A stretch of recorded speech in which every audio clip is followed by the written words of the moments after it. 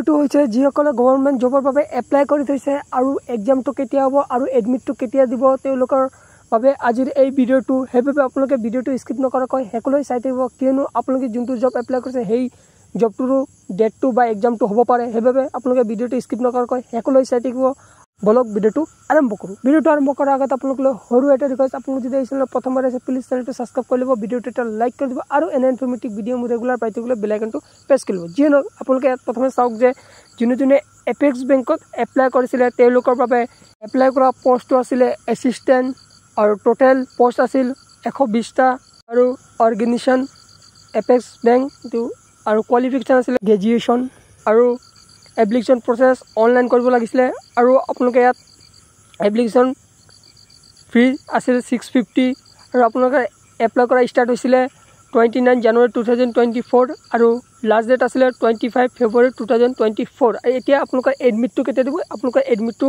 দিব twelve June two thousand twenty ফ'ৰত আপোনালোকে চাই লওক আৰু টুৱেণ্টি ফ'ৰ জুনত গৈ আপোনালোকে এই এপেক্স বেংকৰ অফিচিয়েল পৰ্টেললৈকে আপোনালোকে ডাউনলোড কৰিব পাৰিব। অন্যথা আপোনালোকে যদি নাজানে তেন্তে আপোনালোকে চেনেলটো ছাবস্ক্ৰাইব কৰি ৰাখক।